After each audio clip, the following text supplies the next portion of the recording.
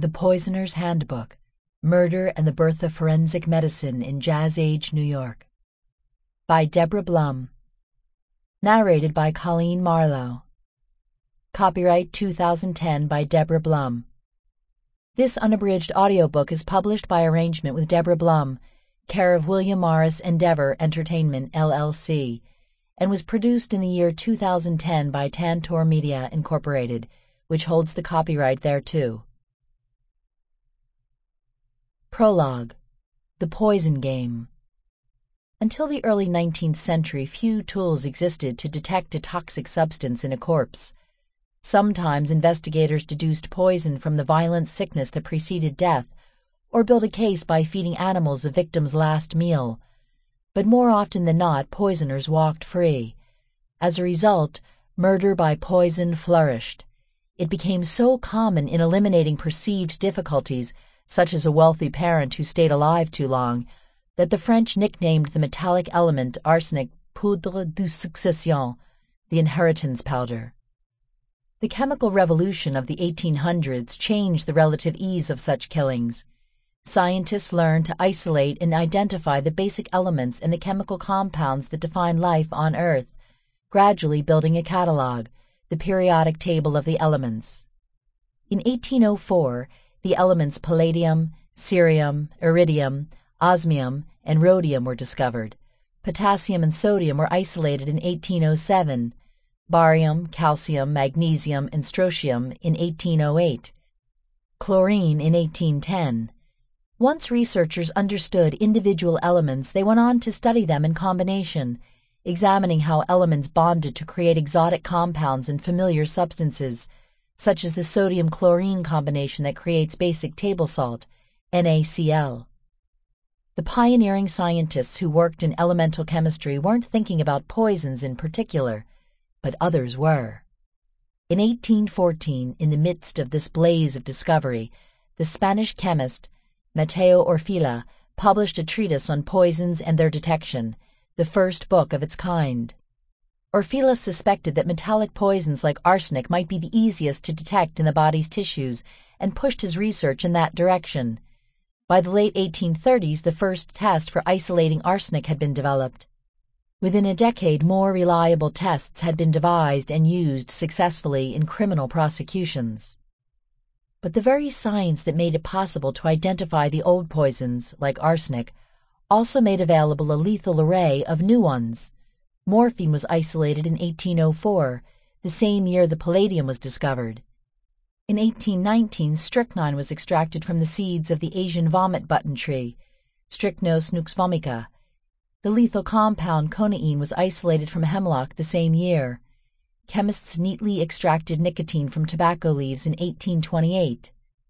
Aconitine, described by one toxicologist as in its pure state perhaps the most potent poison known, was found in the beautifully flowering monkshood plant in 1832.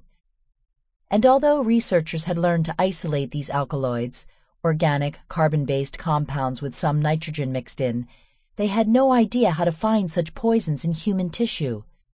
Orfila himself, conducting one failed attempt after another, worried that it was an impossible task. One exasperated French prosecutor, during a mid-19th century trial involving a morphine murder, exclaimed, Henceforth, let us tell would-be poisoners, do not use metallic poisons for they leave traces. Use plant poisons. Fear nothing. Your crime will go unpunished. There is no corpus delicti physical evidence, for it cannot be found. So began a deadly cat and mouse game, scientists and poisoners as intellectual adversaries, a gun may be fired in a flash of anger, a rock carelessly hurled, a shovel swung in sudden fury, but a homicidal poisoning requires a calculating intelligence. Unsurprisingly, then, when metallic poisons, such as arsenic, became detectable in bodies, informed killers turned away from them. A survey of poison prosecutions in Britain found that, by the mid 19th century, arsenic killings were decreasing. The trickier plant alkaloids were by then more popular among murderers. In response, scientists increased their efforts to capture alkaloids in human tissue. Finally, in 1860, a reclusive and single minded French chemist, Jean-Servais Stas, figured out how to isolate nicotine, an alkaloid of the tobacco plant, from a corpse. Other plant poisons soon became more accessible, and chemists were able to offer new assistance to criminal investigations. The field of toxicology was becoming something to be reckoned with, especially in Europe. The knowledge and the scientific determination spread across the Atlantic to the United States. The 1896 book Medical Jurisprudence, Forensic Medicine and Toxicology, co-written by a New York research chemist and a law professor, documented the still fierce competition between scientists and killers. In one remarkable case in New York, a physician had killed his wife with morphine and then put belladonna drops into her eyes to counter the telltale contraction of her pupils. He was convicted only after Columbia University chemist Rudolf Witthaus, one of the authors of the 1896 text, demonstrated the process to the jury by killing a cat in the courtroom using the same gruesome technique. There was as much showmanship as science, Witthaus admitted. Toxicology remained a primitive field of research filled with questions still unanswerable. In the early 20th century, industrial innovation flooded the U.S. with a wealth of modern poisons, creating new opportunities for the clever poisoner and new challenges for the country's early forensic detectives. Morphine went into teething medicines for infants, opium into routinely prescribed sedatives. Arsenic was an ingredient in everything from pesticides to cosmetics. Mercury, cyanide, strychnine, chloral hydrate, chloroform, sulfates of iron, sugar of lead, carbolic acid, and more the products of the new chemistry stocked the shelves of doctors' offices, businesses, homes, pharmacies, and grocery stores. During the Great War, poison was established as a weapon of warfare, earning World War I the name the Chemists' War. And with the onset of Prohibition, a new Chemists' War raged between bootleggers and government chemists working to make moonshine a lethal concoction. In New York smoky jazz clubs, each round of cocktails became a game of Russian roulette. There was no way for the barely invented science of toxicology to keep up with the deluge. Though a few dogged researchers were putting out manuals and compiling textbooks on the subject, too many novel compounds had yet to be analyzed, and most doctors had little or no training in the subject. In 1918, however, New York City made a radical reform that would revolutionize the poison game and launch toxicology into front page status. Propelled by a series of scandals involving corrupt coroners and unsolved murders, the city hired its first trained medical examiner, a charismatic pathologist by the name of Charles Norris.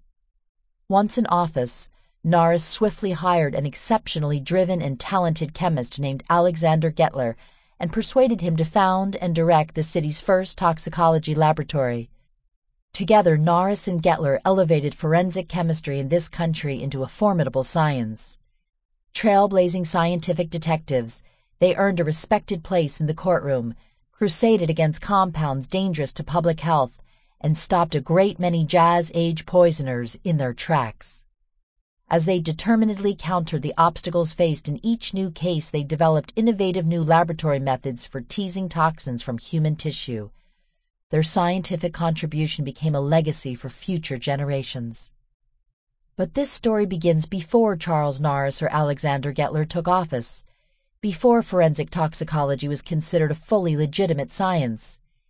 It begins in the gray of a frozen January in the city when an unlikely serial killer decided to make his move in the poison game.